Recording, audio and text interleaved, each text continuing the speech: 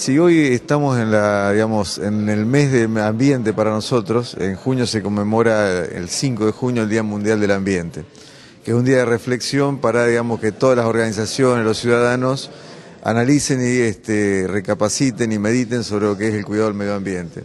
La Secretaría de Medio Ambiente en realidad trabaja todos los días del año en esto, pero tomamos este mes como un mes para hacer distintas actividades de concientización en las distintas regiones.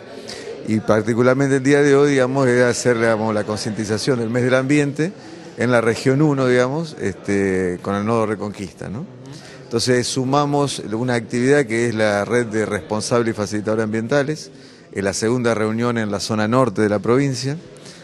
Este, a eso después le acoplamos una reunión que tenemos con las diferentes localidades del Departamento General Obligado para formar los consorcios de tratamiento regional de residuos.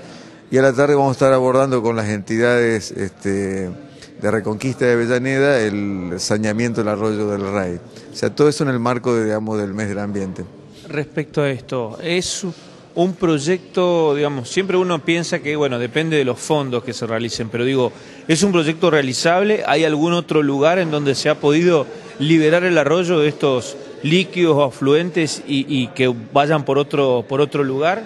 Es un tema interesante, este, más allá digamos de hoy si tenemos los fondos para hacer, es muy bueno que tanto las industrias como las entidades tomen esto digamos como la envergadura que tiene, los efluentes líquidos sobre un arroyo tan pequeño son complicados, más allá que estén tratados.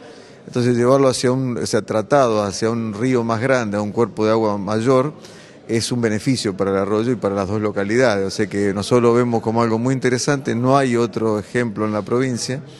Algo se ha hecho en otras localidades, en otras provincias, tratando de sacar, digamos, parte de la contaminación de un arroyo para conducirlo a un sector que tiene mejores características para depurarlo. La idea no es, digamos, pues parecería que lo que uno busca es una alfombra más grande, digamos, para ocultar el problema.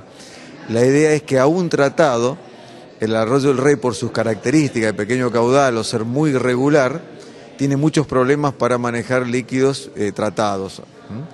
Eh, es muy diferente, ya si uno habla del correntoso, digamos, este, que es un río más importante, y que un líquido tratado tendría mucho menos impacto. Así que lo vemos como muy viable y estamos analizando justamente esa, alternativa. De, todas maneras, el trabajo diagnóstico y saneamiento del rey va más allá de lo que es ese conducto, porque es un análisis de toda la cuenca.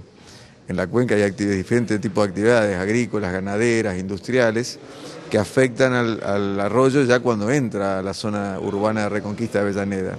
O sea que ya viene con cierta afectación anterior.